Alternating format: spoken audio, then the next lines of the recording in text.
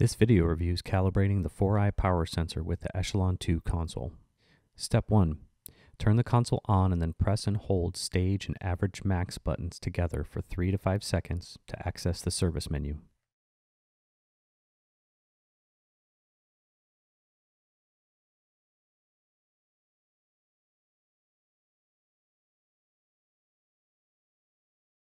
Step 2.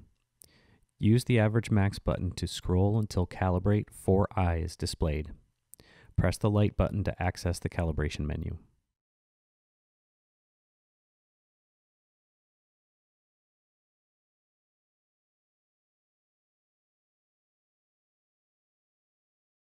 Step 3. At zero reset, press the light button. The screen will prompt you to spin the crank by pedaling for 3 to 5 seconds. Press the light button again. Step 4. The screen will prompt you to position the user left side crank at 6 o'clock. Important. Once the sensor is in the 6 o'clock position, take your foot off the pedal during calibration.